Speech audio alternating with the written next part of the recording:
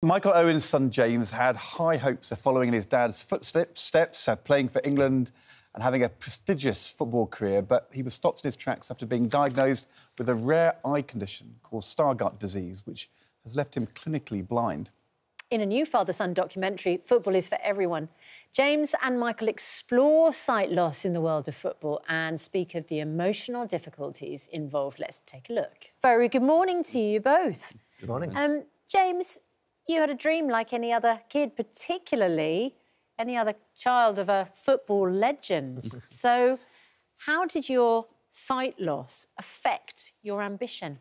Yeah, well, I mean, everyone dreams of being a footballer when Yeah. they were younger, don't they? So it was, um, it was, it was quite hard, especially for it being so close to home.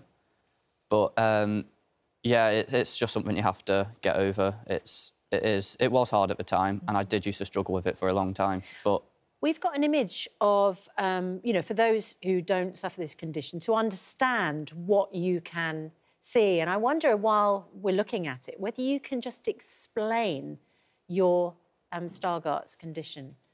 Yeah, well, that is actually quite interesting because I get asked that all the time, like how much I can see. And to that answer is I actually don't know. And I see pictures saying that's what I see, but since I was born this way, I don't know what to compare it to.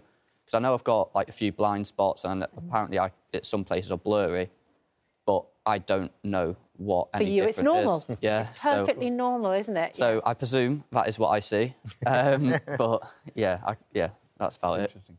Michael, listening to you in the documentary there talking about what it was like before the diagnosis, um, I've um, spent a lot of time with parents of children who stammer. And often it's the dads who spent years saying to their kids, get your words out, get your words out. And when they find out about the diagnosis, they feel terribly guilty about the things that they were saying to their kids before. And I, I felt some of that, um, that pain and guilt for you thinking back on giving James a hard time. Absolutely. Yeah, I couldn't understand, as I said in the uh, in the clip there. I couldn't understand why he wasn't looking at the camera straight. Uh, I'd get people come up to me and say, you know, I've just a bit of advice for your son. When he shakes your hand, him to look in looking in someone's eye and, and things like that." And you always think to yourself, "Shall I tell him?" No, just I'll just leave. I can't be bothered having the conversation. Um, so, and, and that happens to this day.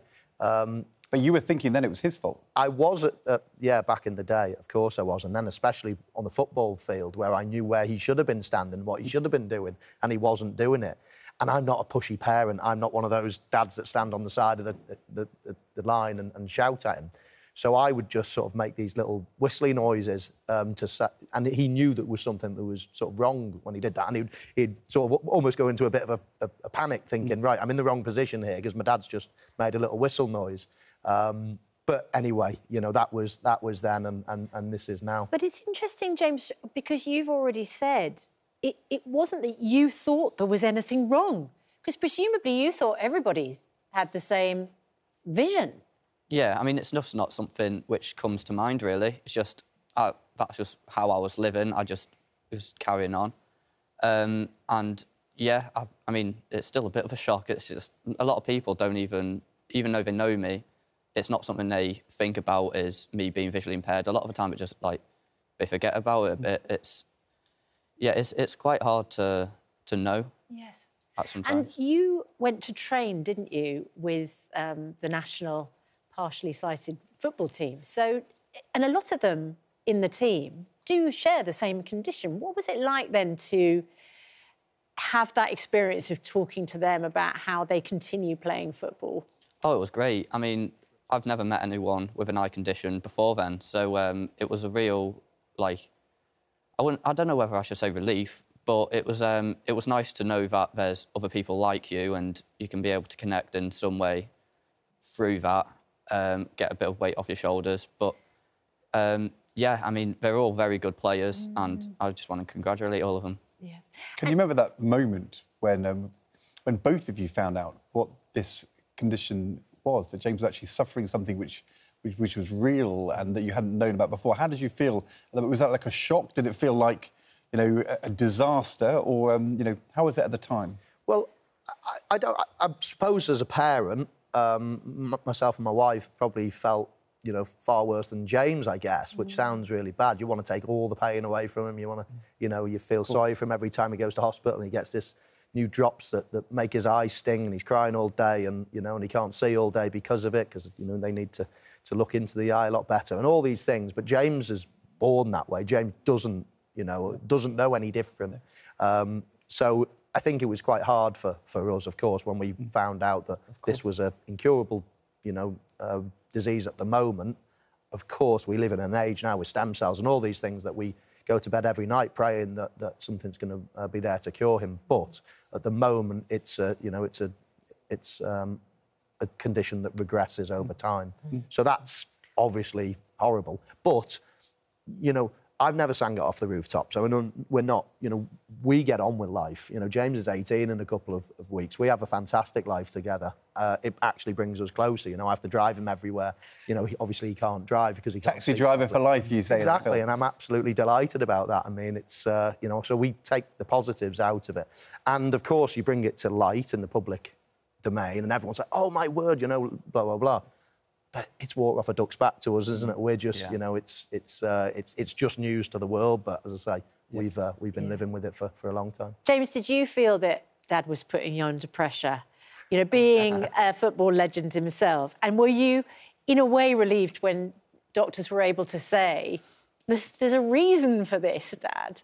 No, not at all. Um, I mean, I think everyone wanted to be a footballer when they were younger, especially when you're not bad at it as well. Um, Yeah, you- 'cause it would you- never you're pressure. talented. Yeah, it would never pressure any like me into it. It was definitely an inspiration, I would say. Mm-hmm. But no, he's. I wouldn't say he's like that. He's very understanding. So What kind of dad's he been? Be careful. Yeah. You're in striking range. The kind of dad who says, "Be careful when you get." Tell it, listen, listen. Ignore your dad. Ignore everybody else. Just tell us. ju- Just tell us what's he like as a dad. Oh, he is. He is a great dad. He definitely helped me through a lot of the hard times when it's obviously been um, going through like obviously not understanding why I am this way, and it's just all of that type of stuff. It's been a massive, a massive help, and it made me into the person I am today. Um, and I'm, I'm a lot happier now. I've, it's as, as he said earlier, it's just like water for duck's back. It's um, it doesn't really affect me now. It's brilliant. So it, it is. It is. Yeah, it's a really inspiring documentary you've made. Thank you. um, with all the individual stories of those on the team, the partially sighted um, men's team. It's, it's fantastic. Football is for everyone. Premieres on TNT Sports on January the 30th, and it's available um, on Discovery Plus. Thank you both so much. It's really good to have you in this morning. It's brilliant, having really Appreciate inspiring Yeah. stuff. Yeah. Thank you. It's always good as a dad when your kids say good things, isn't it? Absolutely, yeah. It's such no, a relief. He, he is. He did struggle at, at, at first, but he's turned into a cracker and he'll be 18, as I say, in a couple of weeks. So Oh, happy, happy Yeah. birthday. What's going to be the celebration? Um, well, I don't really do big parties, but I, I'm probably going to be with his his friends. Oh, that's nice. I'm, I'm more friends with adults nowadays, to be honest. Oh, I love that. Oh, Very brilliant. Yeah. Uh, great stuff.